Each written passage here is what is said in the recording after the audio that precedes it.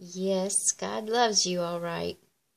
But one thing you have to remember is we are powerless when it comes to what we want versus what God says must be.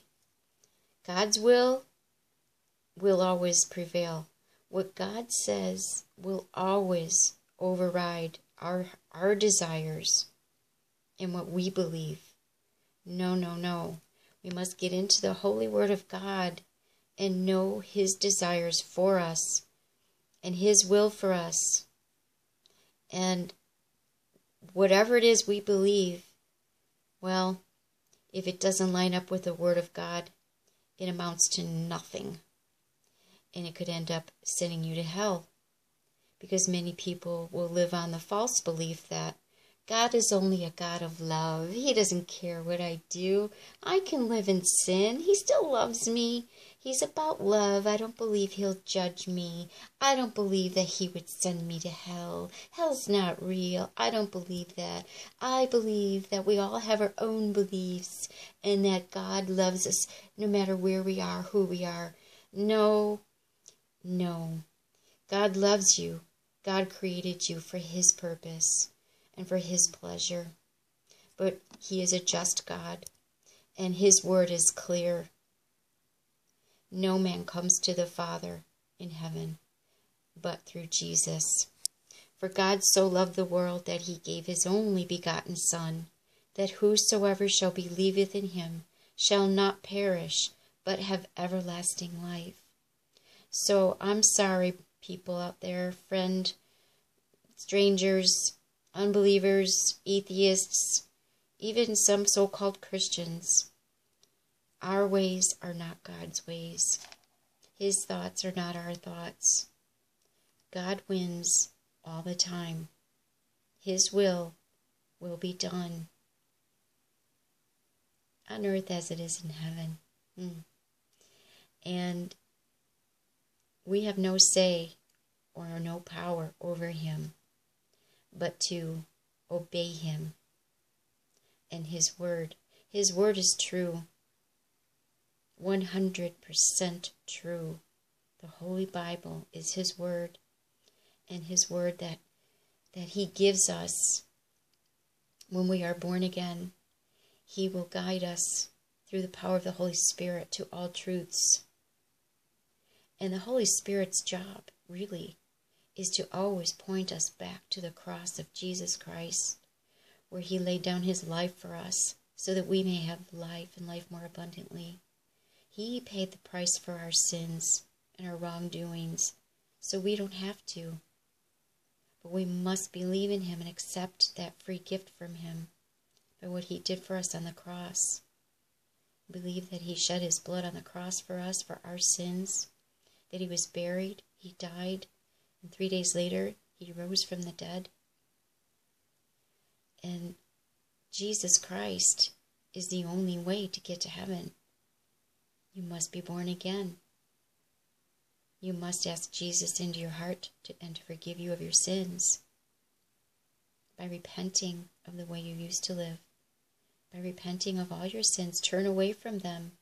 Turn away from the friends you used to hang around with. You'll want to if you're truly born again truly saved, surrendered to Jesus, gave your heart to Him, if you really did, you'll no longer want to sin in, in, the, in the sinful nature you were born with. No, you want to be pleasing God and reading His Word. You won't want to hang out with the friends that you used to get in trouble with anymore, that used to hang out with that you know you were doing wrong and going against God. No, He creates in you a new, clean heart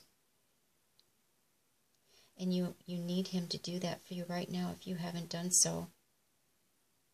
And only those who are saved by the blood of Jesus can enter heaven. Only those who are saved by the blood of Jesus. Not by your works, that's for sure.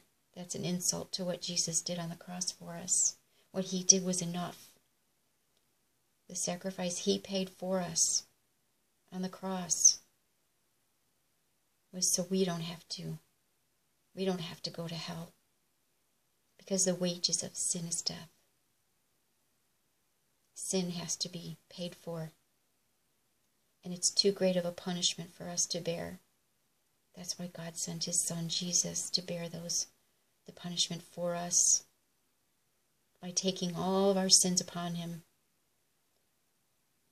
and paying for them with his life. And if we accept that free gift, we will be saved and free from the bondage of sin because he'll take that away from us. The desire to sin will no longer be in us. He'll change us from the inside out if we truly believe in him and trust in him with all our heart. It's time for many people out there to wake up and surrender your hearts to Jesus right now before it's too late. You want to make the rapture. You do not want to be left behind. And if you don't believe there's a rapture, well, then you'll be right. For you, you won't be raptured. He'll leave you here to suffer what's coming.